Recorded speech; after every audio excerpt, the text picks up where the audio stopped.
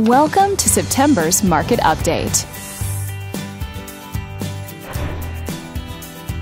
Let's take a look at residential real estate activity in your area during the month of September. The number of active listings was down 14% from one year earlier and down 3% from the previous month. As you can see, the median listing price for the month was just under $1.15 million.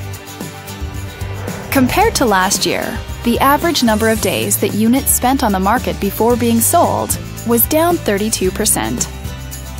The median sale price was just under $850,000. The number of units sold decreased 10% year over year and decreased 18% month over month. Thanks for watching. We hope you use this information to make smart, informed decisions in your upcoming real estate transactions. Feel free to contact us for more information or further assistance.